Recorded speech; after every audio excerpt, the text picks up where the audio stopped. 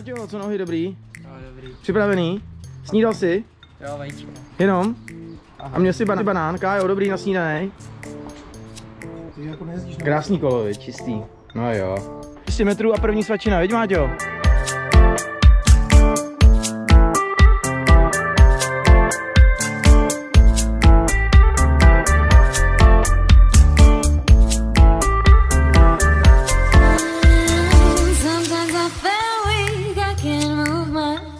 But now I'm out.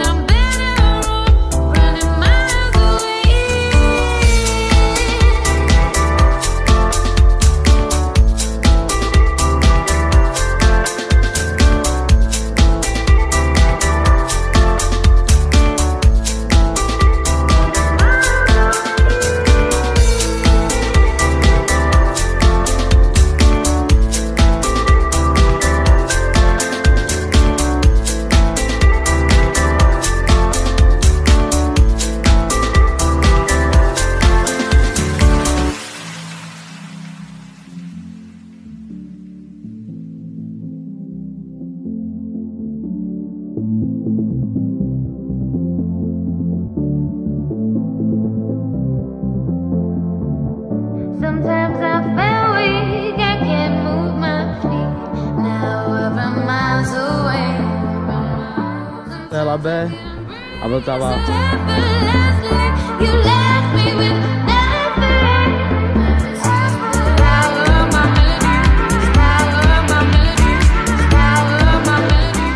Kája na mobilu a Máťa si dává bebe, dobré ráno. of my